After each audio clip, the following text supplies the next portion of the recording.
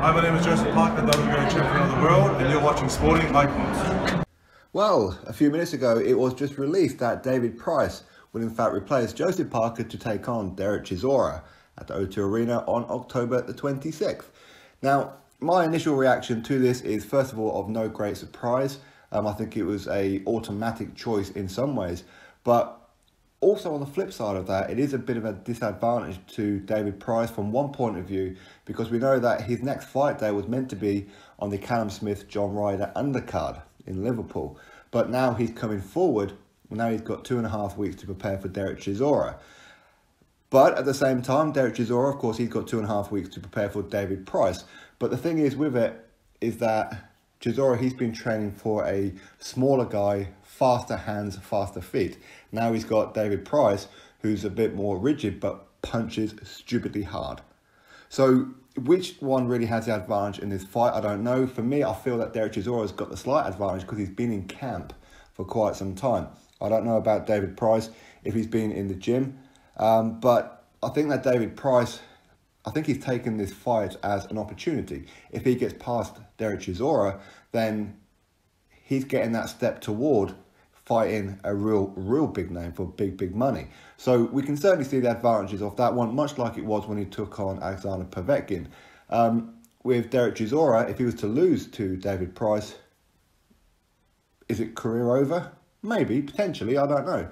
But I think that um, Derek Chisora, he'll keep on going until he can't punch no more. But I do feel that uh, Chisora is probably going to be the favourite in this fight. Maybe some of you guys are going to disagree with me. But I do like the replacement, and it is somewhat of a pay per view saviour in the sense of people will love this fight. In an ideal scenario, both of these guys would have had much more time to prepare for each other. Because ultimately, if David Price loses, he's got the excuse, well, I only had two and a half weeks. If Chisora loses, he's got the excuse of, well, I only had two and a half weeks switching from Parker to David Price, totally different styles. But David Price, of course, he does have the Olympic and amateur background.